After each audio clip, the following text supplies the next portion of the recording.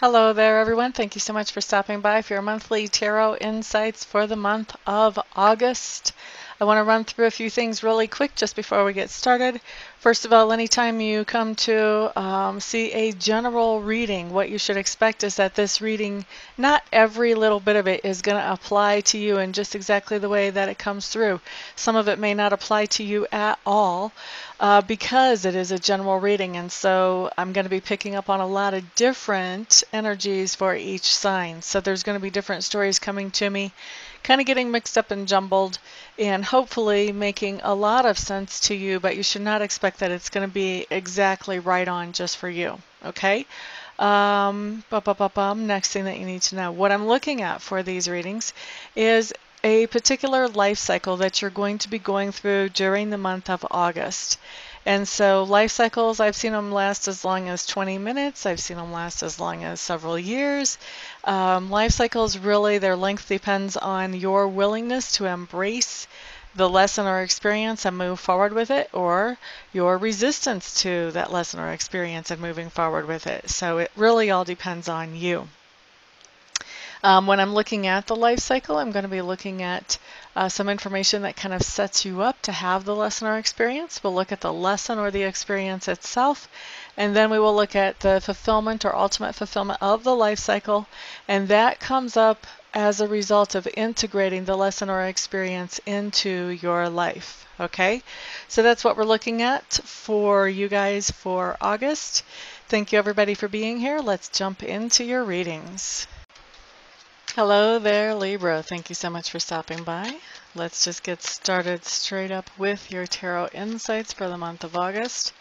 The first thing that I'm going to be looking at is going to be about your environment, and your environment is any place where you have a lot of energy or effort invested. Usually it comes up as home, but I have seen it come up as work or as school sometimes too. So what I see about your environment is that right now you're pretty happy about something that you've accomplished there. Maybe you've just upgraded the kitchen or added on a sunroom, or maybe there's something actually uh, going on in your family that you're feeling happy about. Maybe you've brought home a new baby and that's in the environment. Or if this is the workplace, maybe they've brought in some new people that are really great. Maybe they've brought in a new um, housekeeping service that's fabulous. Lots of different ways that, there, that this can manifest, but it just talks about some kind of victory in the environment for you. Let's see, and that's showing up in August. So then the next thing that I have coming up talks to me about your subconscious leanings. And I feel like um, there's somebody who has given you a gift or um, something has come to you sort of out of the blue financially or material wise. And I think your subconscious is really thinking about it, really pondering how can I make the best use of this gift that's coming in. The next thing that we have talks to me about your learning style and also your communication style. Right now, as it pertains to this particular life cycle, I think you're in a position where you feel like I have learned everything I care to learn from this. Thank you very much. And as far as communication, you're just not putting up with any kind of baloney. Mm-mm, no. Somebody tries to give you a lie or uh, any kind of misinformation, you're just chopping that right out of the conversation right off the bat. All right, so Let's look at work for you. I'm seeing that you're not very happy at work. Probably uh, coworker issues that you're not too thrilled to be working with, or maybe there's a client that's not making you very happy, or your or your boss, but there's something going on with another person at work or another group of people at work for some of you that is not making you very happy. As far as inner work, what do we have coming up here? I do think you're learning to um, understand yourself a little bit better. You're learning to accept who you are better and you're learning to appreciate who you are better. That's the inner work that you're focused on right now as far as for your own personality or character. Now, that part of your personality that's being grown as you go through this particular life cycle is the part that um, I really think you're coming into a place where you feel like you have to suppress your emotions and not be so compassionate, not be the nice guy so much. And so you're really learning how to shut that part of you off and operate more in the logical part of you. And it comes up to me that that's actually something that's pretty difficult for you to do. Something that you stand up for. What is this? Hmm. So you like to find information on your own, and sometimes you like to find information that other people are not so happy for you to have. But it feels to me like you're finding this information or looking for this information because it has an influence on you. It's important to you and it will be affecting you. And so you're finding out about this information any way that you can. You're not waiting for somebody to just tell you about it. And so I do feel like you're having to stand up for yourself for, for doing that because somebody is criticizing you for um, looking around and basically being the sleuth, being the detective, finding out things. Now, how other people perceive you seems to me like other people have seen you kind of as the ice queen or the ice king for a while and now they're starting to see you warm up a little bit starting to see you um, to open up a little bit. It's almost like you're kind of swinging back and forth between this not paying attention to the emotions and focusing on the logic to being uh, more warm and more friendly and letting your feelings show. So people are perceiving that you're actually doing that while what's being grown is that logical part of you. So that's kind of an interesting dichotomy showing up there for you. I'm not quite sure exactly how that plays out there. You guys might have to leave me some comments. So let's see, let's look at the lesson or experience that you have coming up. Looks to me like there's something or somebody from the past that is showing itself during this life cycle. Now, it may be that this person or experience is just on your mind a lot, or it could be that this person or experience kind of resurfaces for you during August. Uh, but I see you really looking at the past and sort of evaluating, looking at, okay, what lessons can I learn from there and, and move forward with so that I can at least say something productive came out of that situation that really was a negative situation. I also see that whatever this is from the past, whenever it shows up, it makes you, it does make you feel sentimental about the past. It makes you kind of miss the past uh, the thing is, I feel like with what you're going, what you have going on in your life right now, and this thing from the past or this person from the past, you don't really. It's not easy to juggle those things. It's not easy to keep both of them in your life at the moment. And things, I think that you try to, looks to me like you try to, and things start to fall through the cracks when you do that.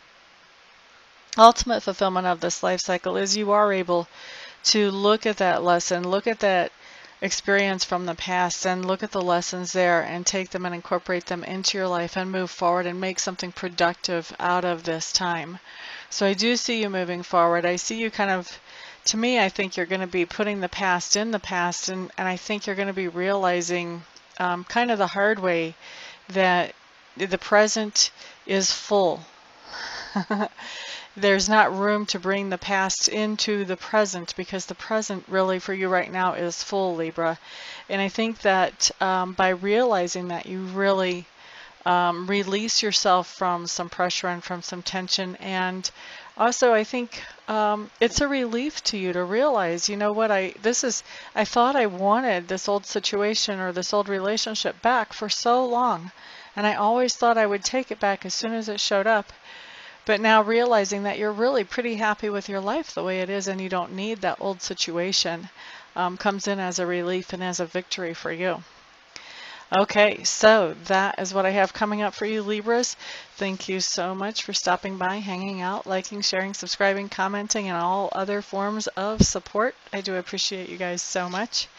Everyone have a fantastic month, and I will see you back here the next time around. Peace out. Hello everybody, this is Amista, and I am coming to you today with something completely different than what you've ever seen here before. Completely different than what I ever thought I would do. Um, I have been taking Reiki training and I've gotten level one and I've gotten level two and I really want to take master training because already I've realized that there are other people out there who need to know how to be um, able to do Reiki for themselves and I'm not able, I'm not qualified to show them that or to teach them that or to pass that on to them or empower them with that until I become a Reiki master. And so I was looking into a Reiki master program and I meet all the qualifications as far as that goes. I've been accepted into the master program but the last little bit of money is what I need some help with, and I'm hoping that you guys um, will help me with that. Um, I need to raise another $3,000 to get myself into the program, and so that's where you guys come in. Um, what I'm doing is I am accepting very happily and very thankfully and very gratefully any donations that you may feel like you would want to give. If you don't want to, obviously, then don't. um, but if you do feel like you want to help me to get into this Reiki Master Apprenticeship Program, any help that you, any of you and all of you send is great. Uh, no donation is too small. Um, I just ask that they're over like 35 cents because I think PayPal will take 35 cents of whatever comes in um, as a fee for collecting payment. But anything other than over 35 cents is no donation, donation is too small. So there's the corrected version of that. Um, and actually I was looking with, I have over 7,000 subscribers. If every subscriber donated a dollar, I would be able to end this um, request. But so if you would like to donate, I would be extremely thankful. I would appreciate that a lot. Also, I want to do something for you in exchange for donating. So anybody who would donate at all, um, I would like to offer you 15 minutes of uh, free Reiki distant healing. In other words, I would send you some healing energy um, where you would not have to come to my house or we would not have to meet in person, um, just like I do a lot of my readings by Skype or by phone. I can also send the healing energy without having to be right in front of you. We don't even have to be on the phone or on Skype when I do it, although I will want to touch base with you ahead of time to find out where you would like me to target that energy. If you have any particular thing you want to um, have worked on energetically and also to touch base after it's done just to let you know that I have sent the energy in to check in with you, see how you're feeling, that type of thing. Um, anybody who donates anything more than $50, what I would like to do is send you some Reiki energy. I would send you the same amount of minutes of Reiki energy as you send dollars.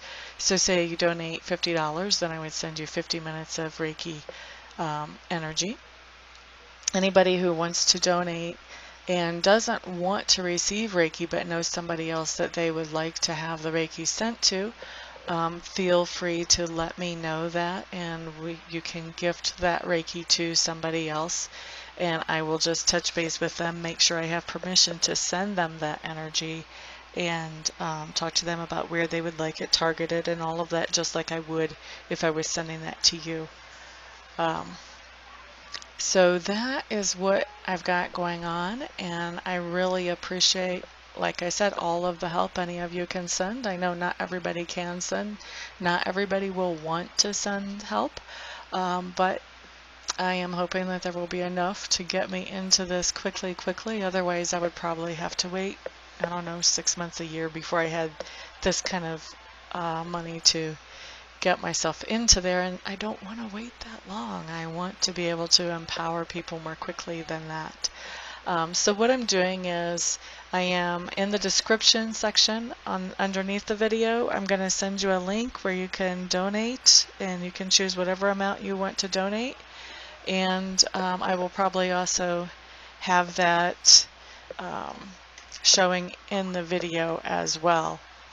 So thank you, thank you, thank you everybody for listening and for giving this some thought, some prayer, some attention. And um, thank you, everybody who actually does donate as well. I appreciate it all. Thank you so much. Peace.